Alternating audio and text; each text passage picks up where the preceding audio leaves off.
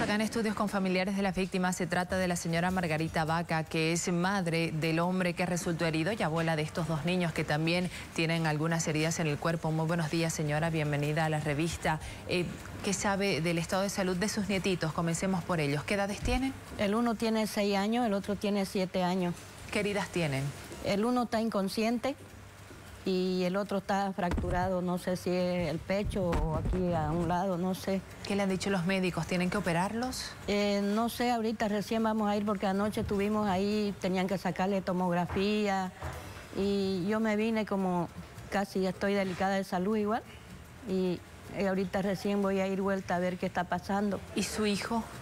¿En qué condiciones está él? ¿Sufrió graves heridas? Sí, una herida en la pierna y dice que le duele también aquí su, cuerpo, está golpeado también, él no está tan del todo bien. ¿Ha podido hablar con él? Sí. ¿Qué le contó? ¿Cómo sucedió este accidente?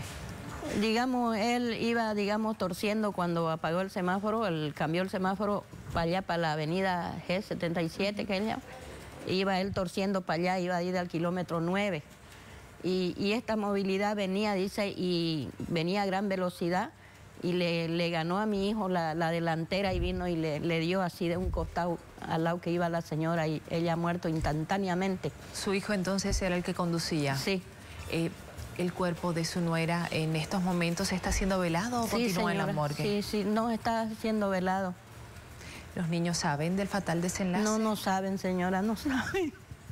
No saben. El más grandecito está clamando a su madre. El otro no, no, no mira, no, no habla. ¿Necesitan ayuda económica, señora? Sí, señora, necesitamos ayuda. Somos gente de escasos recursos, no tenemos, señora. Allá en el hospital nos piden una cosa y otra. El que los chocó ¿Fue detenido finalmente o sigue prófugo? Dice que eran dos ellos y, el uno dicen que está detenido, yo no sé, y el otro dice que está prófugo. ¿Ellos no lo están ayudando con los gastos no, médicos? No, nada, señora, nada. ¿Su hijo a qué se dedicaba?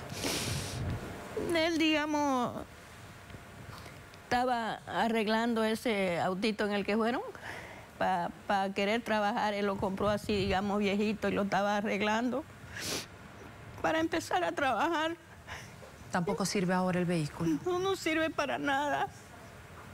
Para nada.